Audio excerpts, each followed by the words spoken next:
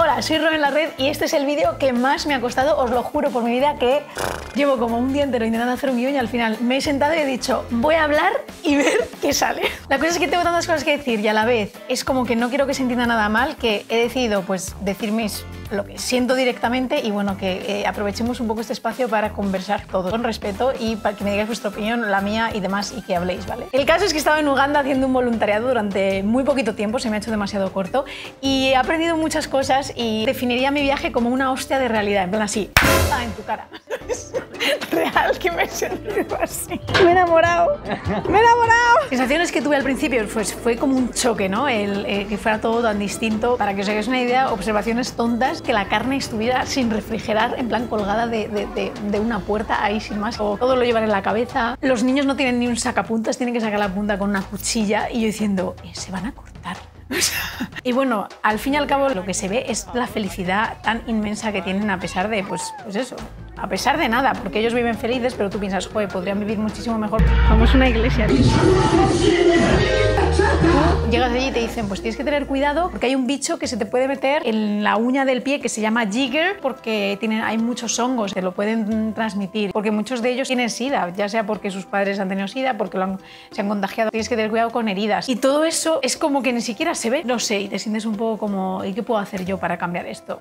Vale, yo pensaba que cuando tú hacías un voluntariado, ¿no? Como que tú ibas a ayudar y como que ibas a, que ibas a tener sentido, ¿no? Tu, tu estancia allí. Y lo que aprendí de ahí es que te llevas muchísimo más tú de allí que lo que dejas. Para que me entendáis, tú llegas ahí diciendo, Buah, sí, les voy a ayudar, les voy a enseñar todo lo que sé, les voy a intentar enseñar el inglés que sé. Uganda es una colonia inglesa, así que hablan inglés, entonces yo quería enseñarles, ¿no? Porque además, antes de YouTube yo había sido profesora, entonces tenía como muchísimas ganas de enseñar. Y no, me di cuenta que los que me enseñaron fueron los niños a mí, o sea, realmente me llevé una lección de vida que creo y espero nunca olvidar, y es básicamente que haciendo un voluntariado no vas a cambiar nada, no eres ningún ser superior que vas ahí como a cambiar la vida de nadie, no vas a cambiar la cultura, la sociedad, ni los medios en los que viven, ni mucho menos la realidad en la que vive. Pues sí, puedes llevarles material, puedes intentar hacer ver eh, la realidad en la que viven y decir, hey, pues a lo mejor sí que podríamos hacer algo para ayudar, pero no voy a cambiar nada cuando me vaya. Pero lo que sí que te llevas es eh, al menos mucha empatía o sobre todo ganas de intentar tener más cuidado con cómo consumo aquí, ¿no? Entonces creo que al final hacer un voluntariado me ha servido a mí como persona para llegar aquí e intentar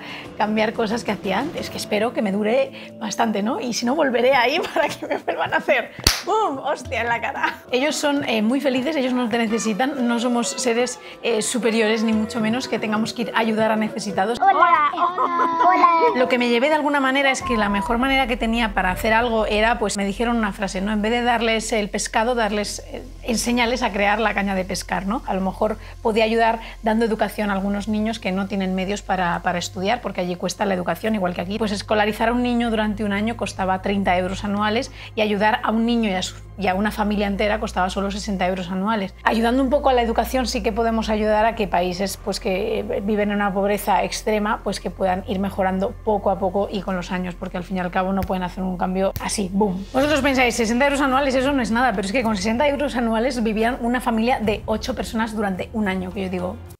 Así que para mí pues es como mi manera de pensar o intentar seguir ayudando a pesar de que yo esté aquí y ellos estén allí. Nos vamos de Canan. ¿Estás llorando? No, no. Bye bye kids, bye. Bye, bye, bye. Pues obviamente vamos a ayudar a algunos de ellos porque, joder, qué menos. Pero sí, yo me sentía un poco mal, ¿no? Porque los mensajes que yo recibía a través de las redes sociales, cada vez que compartía stories o cada vez que compartía alguna foto, era, ¡guau! ¡Qué labor tan bonita estáis haciendo! ¡Qué valientes sois! Y yo decía, es que no soy mejor persona por viajar allí y por haber tenido la oportunidad de verlo con mis propios ojos. Hay que hacer muchos cambios y po todos podemos ser mejores intentando tener cuidado desde aquí. ¿no? O sea, los problemas que tenemos aquí de verdad son tan mínimos, ínfimos, si comparas con los problemas que tienen allí, donde su principal preocupación es sobrevivir. No es, oh, me han dejado de seguir en Instagram, ¿sabes? Era como, tío, no. Quería simplemente apuntar que eh, ha sido un viaje también muy duro porque he tenido que tener muchísimo cuidado con, con qué compartían las redes, ¿vale? Porque se malentendía muchas veces el contenido o la intención en la que yo compartía. Mi intención no era, hey, me voy a hacer un, un, una foto con,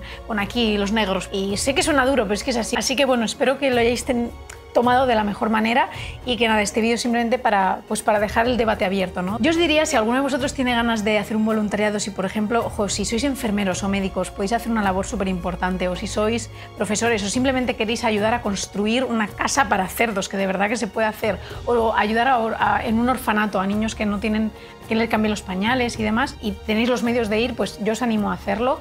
Eh, yo os voy a dejar abajo con quien he ido, que ha sido con Cooperating Volunteers, que me han enseñado muchísimo, sobre todo la gente que está allí trabajando y que te dice, pues, tanto lo que ven que, hacemos mal o, bien ellos mismos cambian poco a poco según van viendo cómo su ayuda pues, pues es más eficaz o menos eficaz.